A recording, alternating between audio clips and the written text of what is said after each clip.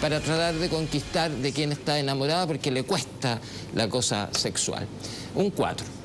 Para el final hemos dejado a una película que es una coproducción española-argentina y que lo que pretende es generar suspenso, porque su director, un español, es muy admirador de Hitchcock y él cree que uno de los enganches grandes es este suspenso que él en esto lo basa en la emoción.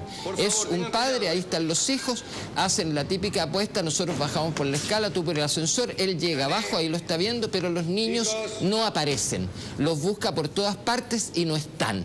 Viene aquí entonces la desesperación del padre que tiene que darle explicaciones a su mujer, de la cual está separada, separado hace seis meses, y todo el conflicto tan bien desarrollado por este gran actor que es Ricardo Darín, que a uno la película lo toma y no lo suelta más hasta el final. Uno quiere saber qué pasa, responder las preguntas de todo esto y es una intriga que está muy bien armada porque cuando uno trata de buscar cabos sueltos se dan cuenta que a través de lo que ha ido pasando le han ido respondiendo todas las cosas que uno se puede preguntar. Séptimo, la recomendamos y le ponemos un 6.